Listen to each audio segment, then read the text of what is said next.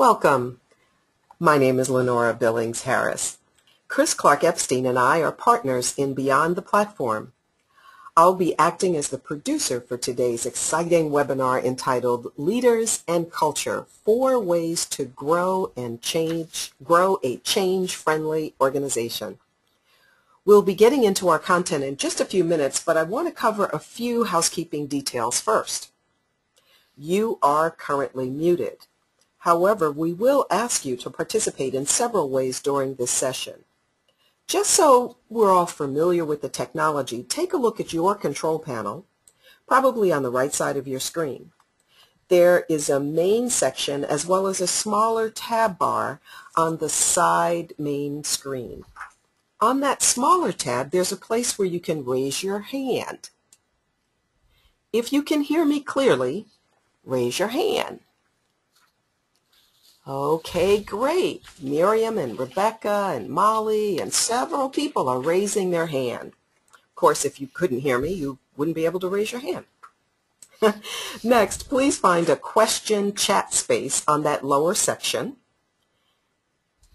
And just for practice, go ahead and type your current location in that pane and hit send. Okay, we've got folks from Dallas, from Charlotte, from Wausau, from Detroit. All right, we've got that technology uh, working very well. During the webinar, please feel free to send any questions in as, as they occur to you. I will monitor the questions as you send them in, and then I'll take time during the, then Chris will take time during the webinar to answer as many of those questions as possible. There is a handout for this session. If you haven't gotten it or downloaded it yet, you can find the link across the current slide. If you encounter any technical difficulties, send in a chat message and I'll do my best to resolve them. We are recording this session and we'll be sending you a link to the recording as soon as it is ready. The webinar is scheduled to go until the top of the hour and will honor that time commitment. So let's get started on today's topic, Leaders and Culture, Four Ways to Grow a Change-Friendly Organization. Chris Clarke Epstein, CSP, is the principal of Change 101 and a partner in Beyond the Platform. Both organizations work to assist teams and their leaders during changing times. Her international client base is from Australia to Peoria, San Francisco to Cyprus, and Toronto to Minneapolis.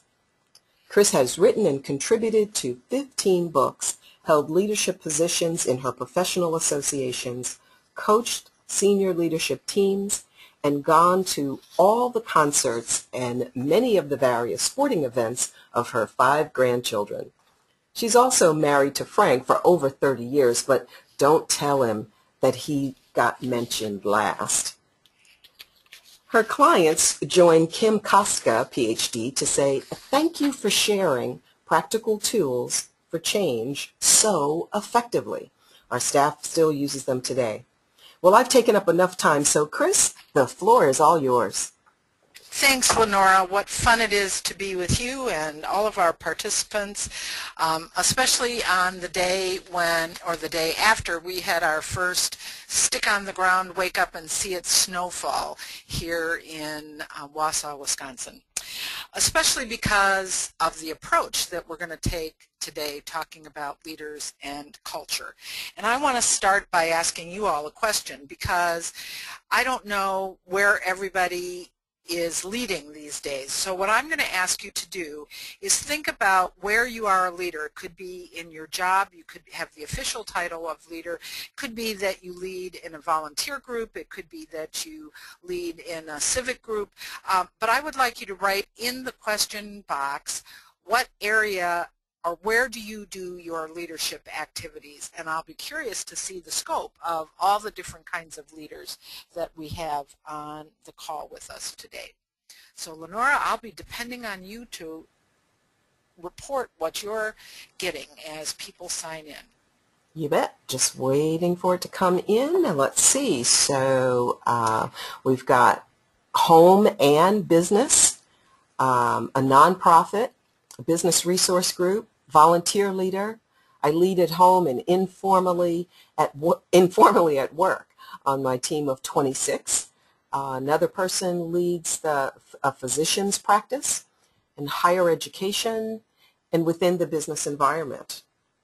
So everybody has a place where they lead. Some, some of us have for, formal leadership roles, others of us have informal. Some of the most influential leaders in organizations are not the ones with the title of leader. For our purposes today, I would like us all to think that every one of us is a leader and a significant leader somewhere in their lives. And what we're talking about will apply no matter where it is that you lead. What I have found as I've worked with people and organizations is that when, especially when it comes to change, everybody focuses on the what should we change, what are the ideas for change, and they are talking about the seeds part of the process. So people are looking at the seeds and they don't stop and think that it won't work to have seeds even if you have great seeds, if you're planting them in the wrong soil. Now, I have to tell you, this is why I thought the snowfall was kind of ironic, because today would not be a day that anybody would be out gardening. And I'm not a gardener myself. However, I was listening to uh, Wisconsin Public Radio, as I often do when I'm in my car, and I happened to catch a show by Larry Meiller that featured a soil scientist by the name of Kevin Shasho. And Kevin is a professor at the University of Wisconsin-Madison, and he was talking about the class that they teach that's called Soil 101. And the first thing that he taught me was that you really would be in trouble with your professor if you referred to it as dirt 101 because there's a great distinction in the scientific world between dirt and soil and it occurred to me that you won't find success planting the right seeds in the wrong soil and so leaders job is around thinking about their soil and that's my definition of culture culture isn't your seeds it's your soil and you can't work on your culture without getting your hands dirty. So, so we're focusing on what takes dirt and turns it into the soil of the culture of an organization that allows you to make sure that the great change ideas that you have, the seeds that you want to plant, will actually flourish. So first topic is what turns dirt into soil. And what makes up soil is nutrients. What are the nutrients that go into dirt that make soil? And there basically are three of them. The first one is employee engagement. And I learned this early on in my corporate career when I worked at Blue Cross Blue Shield all those years ago, the CEO of our organization was a man by the name of Leo Saikat, and he was a leader ahead of his time. And one of the things that you figured out pretty quickly when you worked there was that if Leo was in the building, we had a 10-story building when I worked in downtown Milwaukee, and the executive offices were on the 10th floor. You probably could have figured that one out by yourself. But what Leo would do is if he was in the building over the lunch hour, he'd get on the elevator and randomly go down to one of the floors where those of us mere mortals actually worked. And he would get off on that floor and he would walk around the floor and just talk to the employees. We had about 2,000 people in that building at that time. And he'd come up to your desk and he'd introduce himself. Hi, I'm Leo Saikat, and um, I'd like to know what you do and what gets in the way of doing your job well. And you knew that someday Leo would show up at your desk and you'd get to chat with him.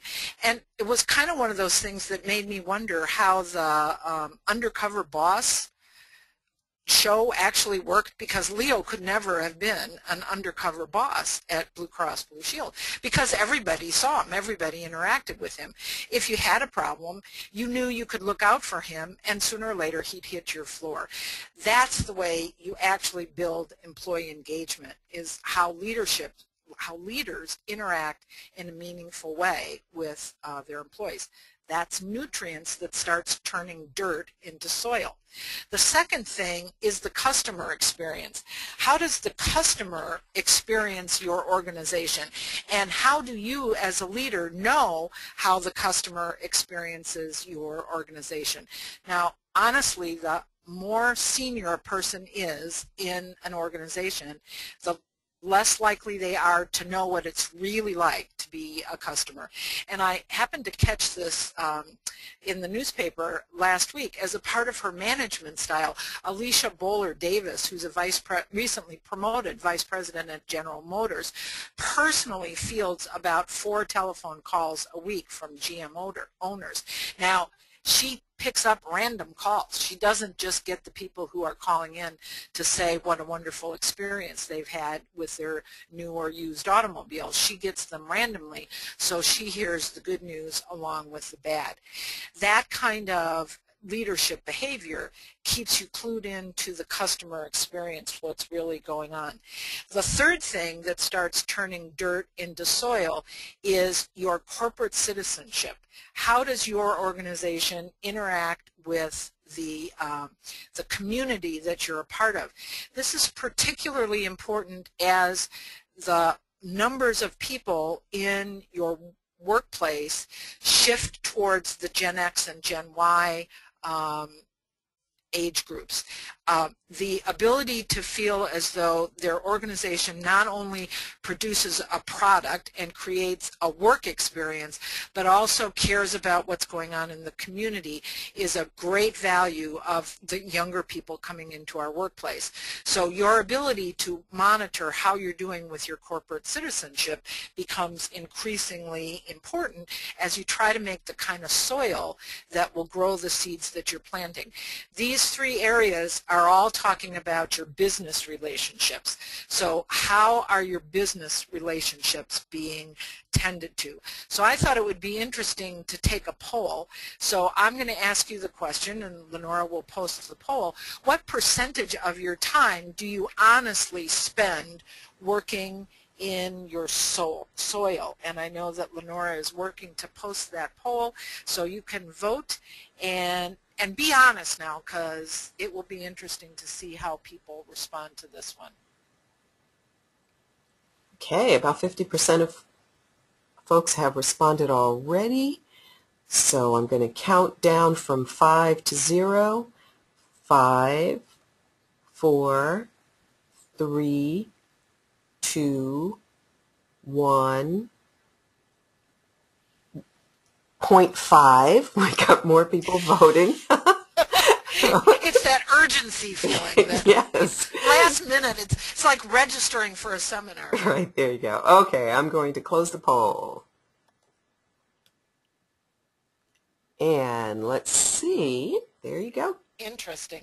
So I, I, lo I love the honesty. Thank you for that because the reality is most people are so busy doing the tasks that they have to do, um, i.e. looking at the seeds, reading the seed catalogs, sorting the seeds, numbering the seeds that they're not paying attention to the dirt. It's just there.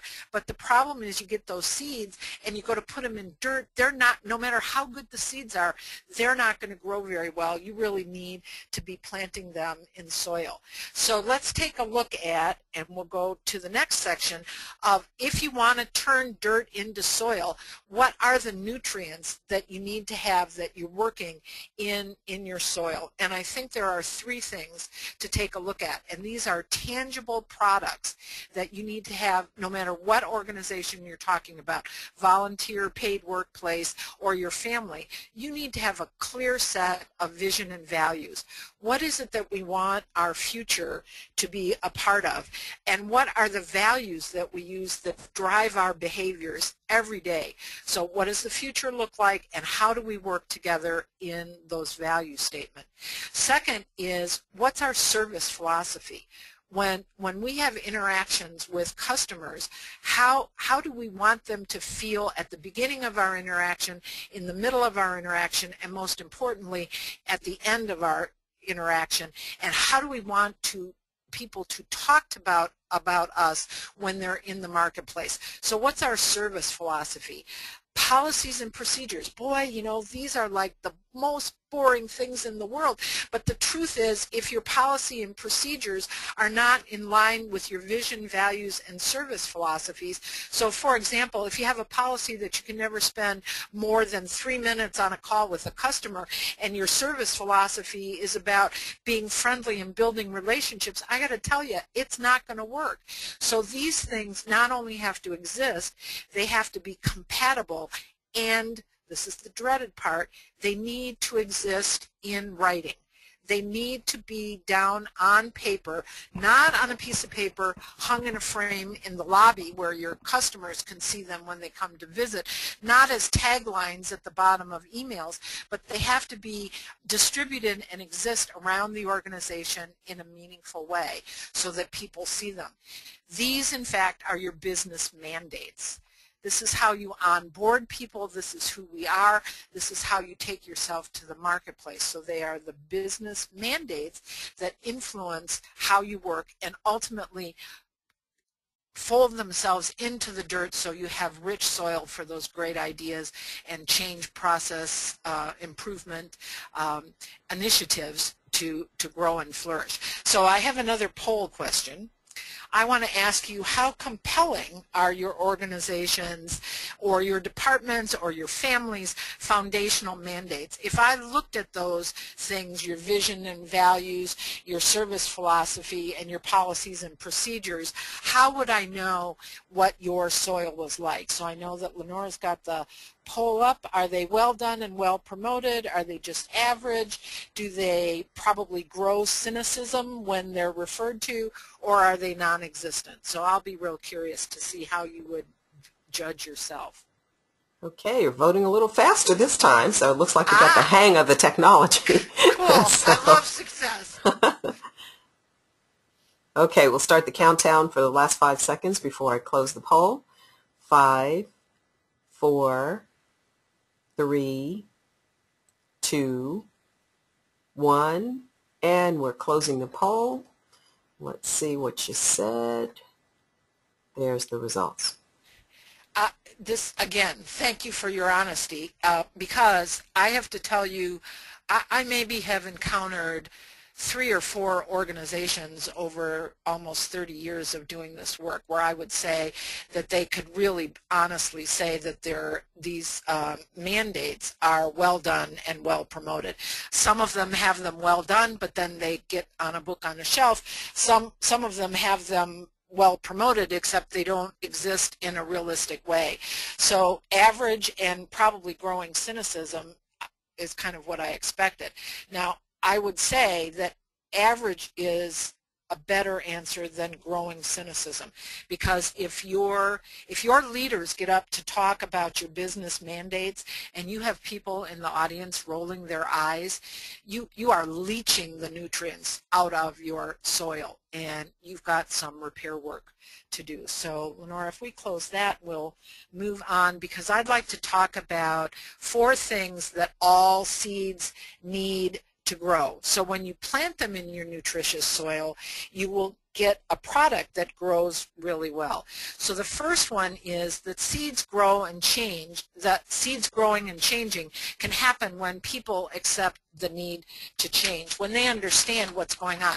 Now, any of you who have or have had a three-year-old will understand the very brief clip that I'm going to show you of my now 13-year-old grandson when he was three. This is Quinn. Now, I'm hoping that you're all chuckling. And, and if you have a three-year-old, that's what they say all the time is why, why, why. When people in organizations of all sorts are confronted with the notion of change, their first question is why. And I, I saw this recently, more information information does not necessarily equal more clarity. This is the week where we remember back all those years ago when President Kennedy was assassinated and the iconic view of Walter Cronkite when he announced the um, the death of the president and he put his glasses on to read the bulletin and then he took them off when he had to tell the nation what he what he had to tell them. And so it's not just facts and figures that create um, understanding about change. You can divide your people into three categories when it comes to change. First of all, there are those people, and you're happy about these folks, these are the people who will support the change. These are the evangelists. These are the ones who will get out in front and will uh, celebrate the opportunity, will talk excitingly about the possibilities. Evangelists are folks that you would really love, that the, the bulk of your people would be in that category not necessarily what's happening. There'll be another group of people who are oblivious to the change. These are the people that we call acluistics. Acluistics are people who don't have a clue, but they don't even know that there are clues to be had. And you probably have some of those folks in, in your organization. These are people who are way too comfortable in their comfort zone, and they probably need to be shook up a little bit. Now, the third group is the one you really need to be careful about. These are the people who outright resist the change they will quickly turn into the saboteurs. These are the people who will kill a change initiative because of what it is that they talk about and the way they behave. Um, it is these are the people who foster the cynicism that will kill any uh, change initiative and these are the people who really leach the nutrients out of, of your soul, of your soul and your soil. So the question that I ask as you move into a people audit that is looked at from this part of our conversation is do you have the right people on your bus? Um, if you are working on your culture, you have to be brave as a leader to make sure that you have the right people and the wrong people need to be exited, or as my friend Catherine Jeffers would say, you need to free up their future because someplace there is a place for them. It just probably is not in your organization. Now, this next clip of Quinn doesn't work for three-year-olds and it doesn't work in your organization either.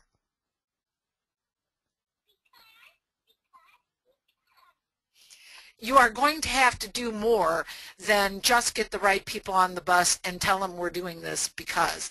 Because that takes us to the second thing that needs to be a part of your soil is that people need to know what to do and how to do it. This is where we talk about our skill set. You need to make sure that not only do you have the people with the right attitudes on the bus, but you have to have the people with the right skills on, on uh, your teams. Now, one of the areas where I think this often is um, a little challenging is when you are in a volunteer situation. Because quite frankly I bet you everybody on this call has been in a volunteer situation when where you had people who were very eager to be a part of something but they really didn't have the right skill sets that that you needed and that sometimes can be uh, tricky. So this is another audit place. This is where you need to audit the people on your team to see what they have as far as training needs and also individual professional development plans to make sure that they're positioned well. So do your people have the skill set for success? And if they don't, how are you going to get them the skill set? Um, how, how are you going to give them them the opportunity, how are they going to see an advantage for themselves to get the right uh, skill set um, to be a part of the right soil for the seeds that you are planting. So that takes us to our third thing, characteristic that we want to look at, is we need people in a supportive climate. A logical project plan isn't enough. And John Kotter, the famous change guru said it this way. He said behavior change happens mostly by speaking to people's feelings. The issues around change initiatives that don't work, generally speaking, are not about project plans that don't work or skill sets that aren't the right match. They are about people not taking care of the emotional impact that's going on during a change initiative. So it's not enough to have the right seeds. You have to nurture those seeds, and that is about a leadership audit. And you need to ask yourself the question, are your leaders emotionally intelligent? Uh, because they need to understand that the, the keys to the kingdom are in personal relationships with the people that they're leading. And one size does not fit all. Different people look for different phases of encouragement from, from their leaders, which takes us to our next characteristic, and that is people need to be rewarded for changing. And those rewards come in different packages. Now, a lot of people get caught up in having a huge uh, reward system that needs to be complex and needs to be funded. And, and I need you to know and if you take nothing else away from our time together, I want you to listen to this one. And that is that the two greatest reward systems in any organization during any change initiative are leadership attention in the form of well-delivered, well-crafted, and well-delivered feedback and well-crafted and well-delivered thank you.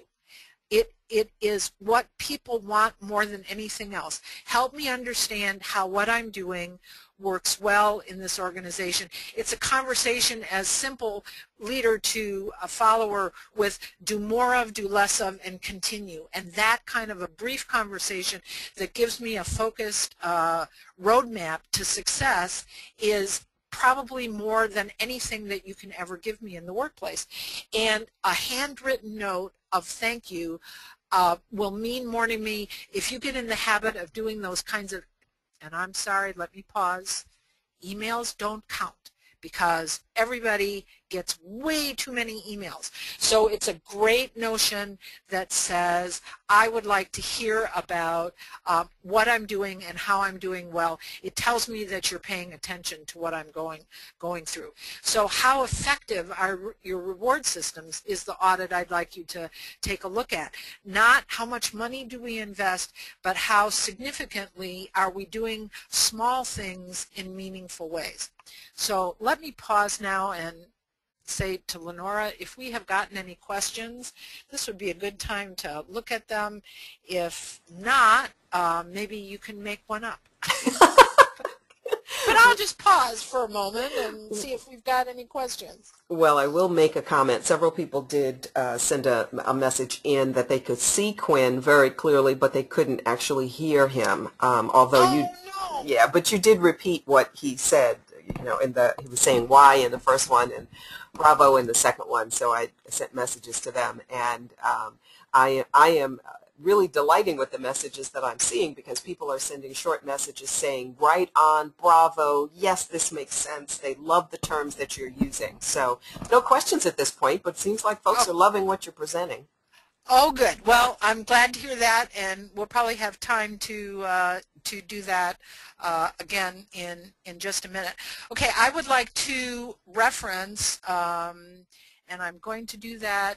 I'm having a momentary lull here. Okay, uh, the handout that you have. On the handout, there is a section that says a bit of self-reflection, and hopefully everybody has that. If you don't, I will talk you through it because here's what I would like you to do is think about what we have talked through. We have talked through a lot of concepts. The first three were those um, nutrients in your soil, the employee engagement, customer experience, and the corporate citizenship. How, how are we doing on those business relationships? The second three that we looked we looked at were those foundational behavioral documents, your vision and values, your policies and procedures, and your service philosophy. The next thing that we talked about were the environmental conditions. How ready were people to accept change? How did they understand the why question? How, do, how were they equipped to deal with the change? What skills did they have? How supportive was the climate? And how were you rewarding things? Do we have emotionally intelligent leaders who watch what their people are doing and give appropriate uh, rewards? So I would like you to think uh, of the, from this list um, which area are you best at? And what I'm going to do is put the list back up so you don't have to try to remember that.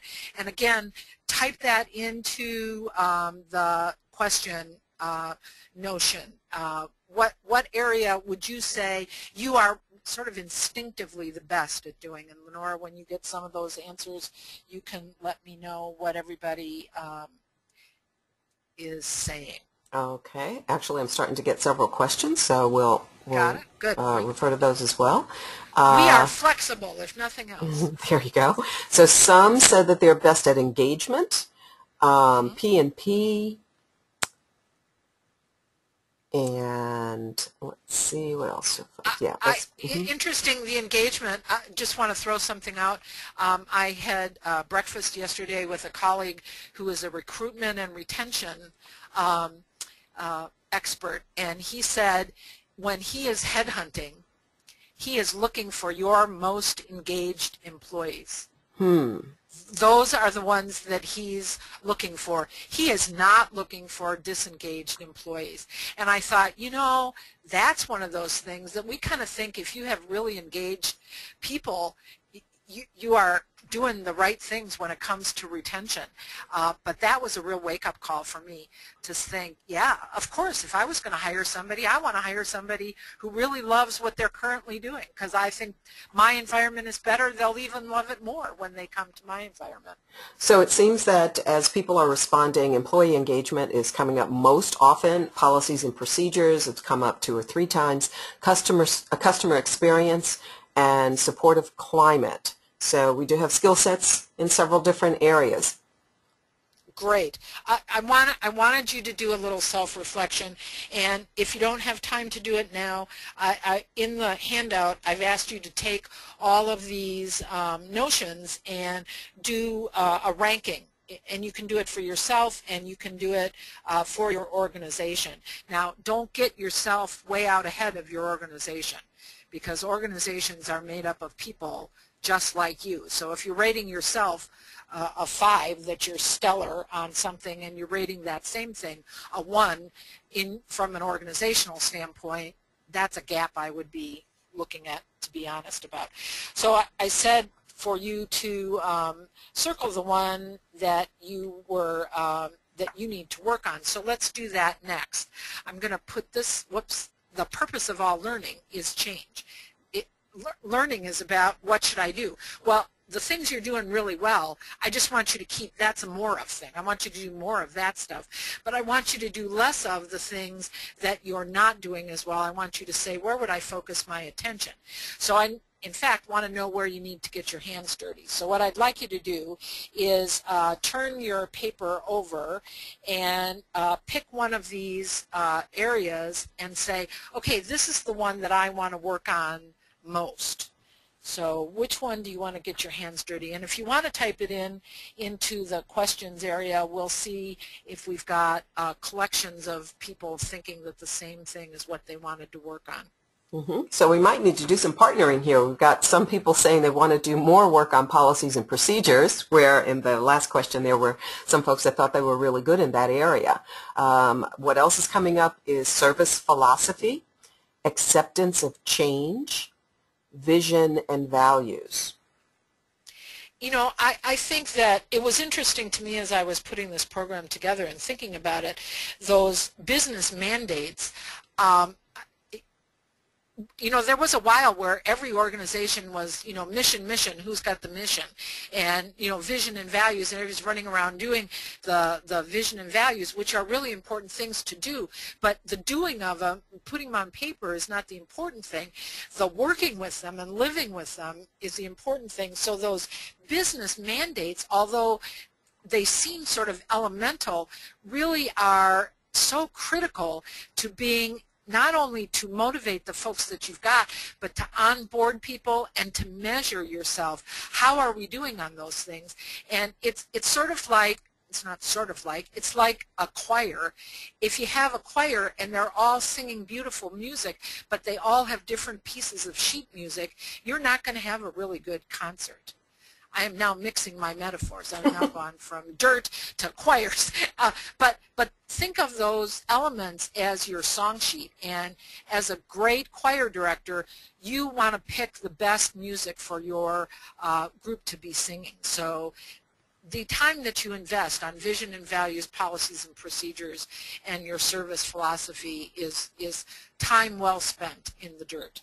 A few more, few So- more came in okay, and, uh, that I'll just share with you. Skills for change, specifically building your own skills for change, and uh, then uh, employee engagement came up as again as well. Great. Okay, so everybody has on the back of their handout written down one of these things, which is where you think you need to get your hands dirty first. And so now here's the second question. What is it that you're going to do first in that area? What's an idea that you have that you're going to say, gee, you know, I'm going to, I've got that book on emotional intelligence and I've had it sitting on my shelf for two years. I think what I'm going to do is actually read it.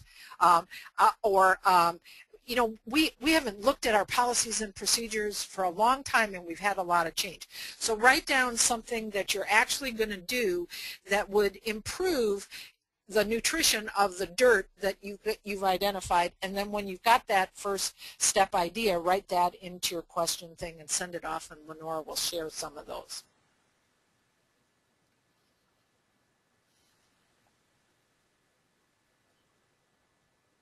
They're really thinking about this one. I got that. This is picking your seeds is what you're doing. Yep. Uh, to realize that change can't be avoided.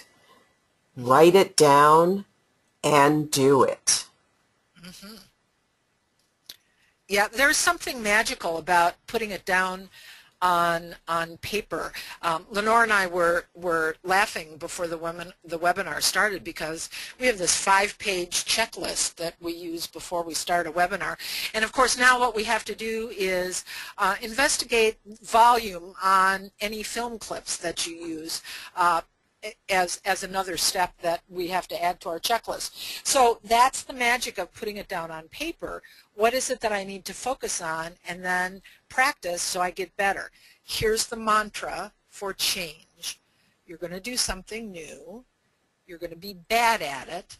You're going to now what happens is most people do something new, they're bad at it and they stop. That's why you need the mantra going to do something new, going to be bad at it, going to keep doing it, and then I'll get better.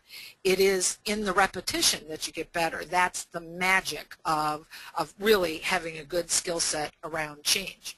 Now, I'll give you another piece of magic. The other piece of magic is to have an accountability partner. If you, and I hope you have, you have written something down on the back of your handout, you will increase the likelihood of getting value from this webinar if when it's over, you waylay one of your colleagues, take the handout, walk them through the handout, the kinds of things that you learned, and then say to them, would you be my accountability partner? Here's what I said I was going to do. And in a week, will you ask me how I have done towards that particular action item? Lenora and I both wanted to do webinars. We have been talking about them for years. She and I are accountability partners. Finally, we said, you know what, we're not going to talk about this anymore. We are going to hold each other accountable, and that's why you're on this webinar with us today. It would not have happened had we not had that accountability. So recognize that you're going to be bad at it when you start. Have an accountability partner who will keep you honest about your efforts and you will increase the likelihood that you will put into action any new learning that you get. Any other comments, Lenora, before I wrap things up? Yes, um, actually we have a couple of questions and I'm going to assign one of them to you, Molly, if, to you, Chris. I'm thinking of the person that asked the question. Um, to you, Chris, as homework, since we know we're going to be sending out one more communique to all the attendees, you can answer that question in homework. Here's one that I think you might have a minute or two to answer here live. And uh, that this question, the homework question is, how do you tell your leader they're not leading? So I'll ask you to Ah. do that one for homework. Yeah, I, I will reserve the right to think about that. and, and my, my guess is you will keep me accountable to actually write that answer. Absolutely. I thought you might want to think about that one a little bit because being tactful. And then the other question, though, is what if you're leading someone who has the perfect skill set but a bad attitude? How does that impact the, the soil, dirt? Yeah, is, isn't that isn't that amazing? And this is sort of continuation of the um, of the um, gardening metaphor. This is a case of the one rotten apple spoiling the barrel. Um, leader, leadership is sometimes about tough conversations. And I would much rather have a conversation about somebody's skill set because, boy, that's easy to quantify and easy to develop a plan of action. Attitudes, not so much. And I think that what you need to do as a leader is you need to have that kind of crucial conversation that goes like this. You, you have the perfect skill set for this project we are embarking on. I need you to know what's holding you back, you back is your attitude. And in today's workplace, on a team environment, um, attitude is as important as skill sets.